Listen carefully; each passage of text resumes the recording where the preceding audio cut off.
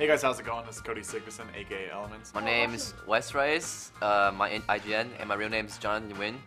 Uh, I am Pluto, Brad Pluto Ramey.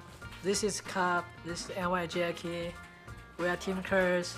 And I'm here in the San Francisco Curse apartment, our CEO's uh, apartment.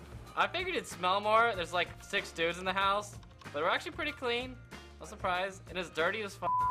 Like, we got this nice apartment. We just trashed the hell out of it. This is pretty interesting. I've never actually done this before for like this long. Like I've never lived with six other guys for this long.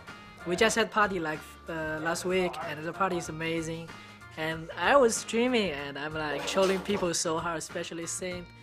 He was talking to a girl, I'm, and I'm like, move the camera on them. I'm like, oh guys, Saint is trying to do something right now, like, oh, first blood.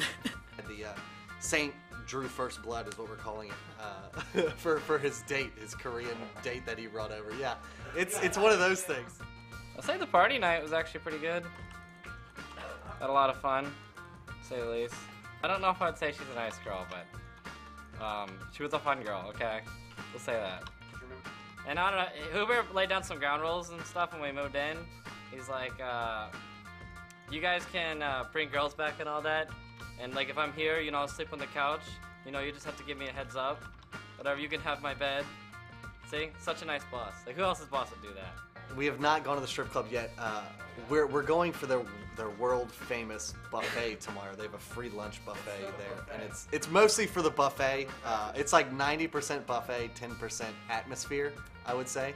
Um, it, sadly, sadly, I, th- I think Cop and West Rice are still actually too young to to partake in a strip club. Well, I would like to go to the strip club, but there's an age limit. it's unfair. I heard they had amazing wings.